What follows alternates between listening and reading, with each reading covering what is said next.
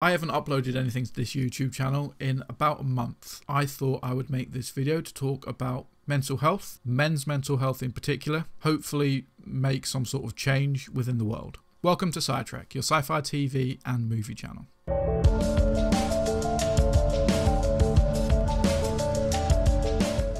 So, let's talk about where I've been for the last month, very briefly.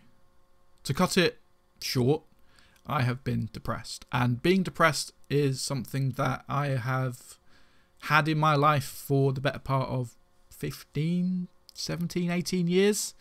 So, pretty much most of my life, I have had depression in some form. This stems from childhood trauma, um, involving things that happened online when I was 12, 13 years old, and then from that, bullying uh, within school.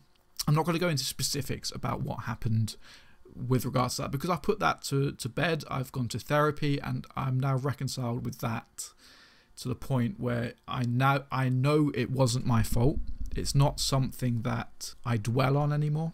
But the residual depression is still something um, that remains because I believe wholeheartedly that depression was something that was formed as a coping mechanism.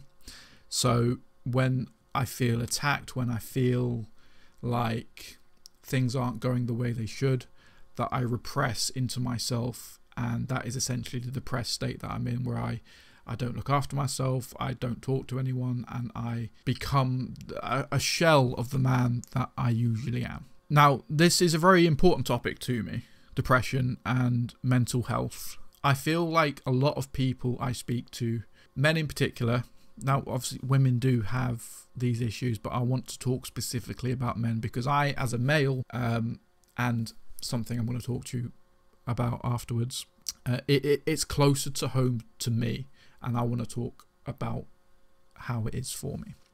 I think mental health and talking about mental health and talking about how you feel with anyone doesn't matter who it is is vitally important now, I want to publicly here thank Jay because when I was going through it over the last month or so, Jay instantly noticed. Now, we, I've never met Jay in real life. I first joined this channel because because I was a Stargate fan. I found his videos. And then I messaged him just saying, Do you want a Discord server? Because I noticed you haven't got a community. And he said, Yeah. We then started talking. He then invited me to join SciTrek now we're here, now we're friends. A relationship that's been formed essentially through a camera. I, I, it's amazing because he instantly knew that something was wrong. Now, me being me, I said, no, no, no, there's nothing wrong. I'm absolutely fine, but there was something wrong. I was depressed. Um, and there never really needs to be a reason why you're depressed. It just happens. I say I say there wasn't a reason, but it, it was it, it was very it was in hindsight, it's a very stupid thing to think about. But people, some people on uh, in the comments have basically said you're not a real sci-fi fan, and then that played on my mind. It was one comment, realist, really. It was one comment. I can't remember who made it, but someone said you're not a real sci-fi fan. That played on my mind. I then started doubting whether I should be on this channel, whether or not I was a, I was a real sci-fi fan, whether or not anything I had to say had any value and I just started doubting myself, my place on this channel, and where I should be. Should I should I quit? Should I leave? Should I should I stay? What should I do? And that that kind of circle of thought wouldn't stop essentially.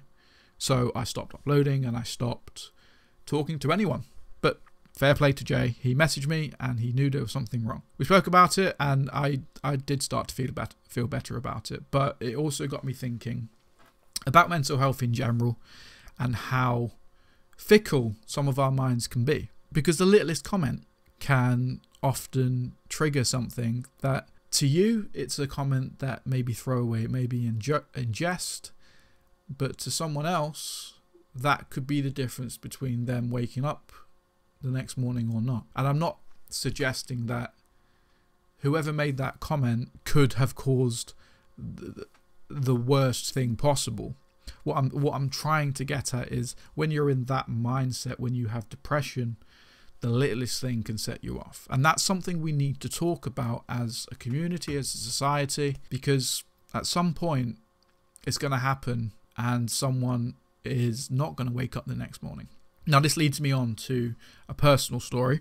It was within the last week, the third anniversary of my dad's death. Now, the reason my dad died was because he had committed suicide. This is something that has messed with my mind. We didn't have the greatest relationship growing up.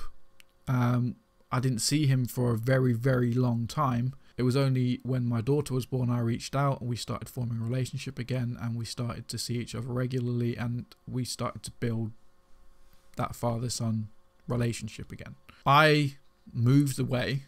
I now live in the Midlands, but I'm originally from the south of the UK. But yeah, I got a phone call from my sister just in an evening. I was playing a game, I was probably playing RuneScape. I got a phone call and the first words I heard were Dad's dead. And I immediately said, What? And she told me again, Dad's dead. Now, we, we thought that perhaps he had accidentally taken um, an overdose on the tablets that he was on for something wrong with his teeth. I don't know what it was.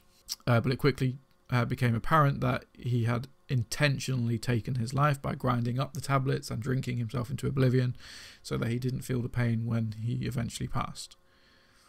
And this is something that he would have done because he felt pain in his everyday life. He felt, I guess, that he was alone. He probably felt that mistakes he had made in his past had caught up with him. Perhaps, perhaps he felt that there was no one that he could turn to when he was in a dire situation.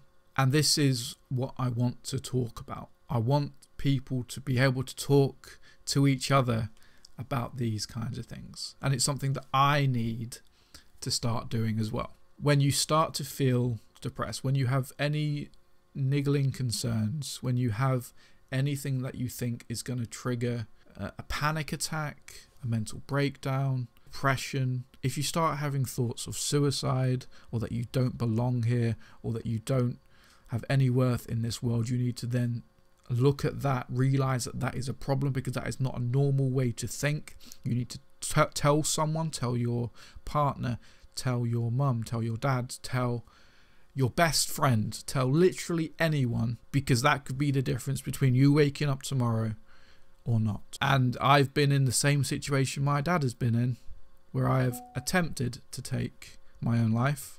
That is the reason why I have this tattoo. This is a semicolon. Um, I I saw a post years and years ago about what the meaning of a semicolon is and why you would have a semicolon as a tattoo. And I thought it was really good and it really spoke to me. So the reason I have the semicolon is because in writing, a semicolon is something that a writer can use to either end a sentence or choose to carry it on. So it's a little bit different to a full stop. You can either end it right there or you can carry on the sentence. And it's a, it's a choice. You can end it or you can carry it on. And that speaks to me in a, in a very profound way. So I got this tattoo as a reminder that I chose to carry on. And I'm not suggesting that you go out and get a, a, tattoo as well as a reminder. You you don't have to do that.